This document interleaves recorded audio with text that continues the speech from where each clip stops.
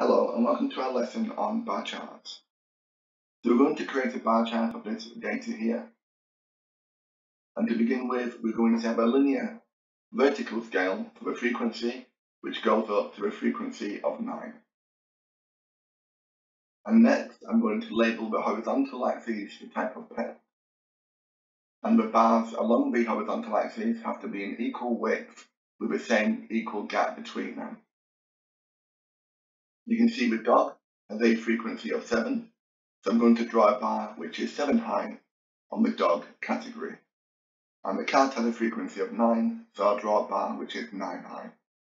Do you want to create the bars for the guinea pig, the rabbit and the other by making a copy of this grid and resuming the video when you're ready. Okay, so here we have a bar chart of the type of pet. You can see the highest bar is cat, which means this is the most common the modal average type of pet, and rabbit and other are the least common, so these have the shortest height. Okay, let's move on to creating a dual bar chart. So in this question, we're going to create a dual bar chart to show the favourite mobile phone manufacturers in 2007 and 2012. To do this, we need to show 2007 using purple bars and 2012 using orange bars.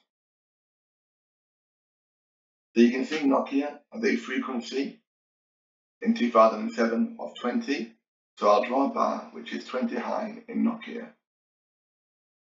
And in 2012 the frequency is 3. So I'll draw a bar next to 2007 which is 3 high. Okay, do you want to try and complete the bars for Samsung, iPhone, Sony and HTC? By pausing the video and you can resume it when you're ready. So the differences you can see over time is that Nokia and Sony decreased in sales, whereas iPhone and Samsung increased in sales. HTC also increased in sales.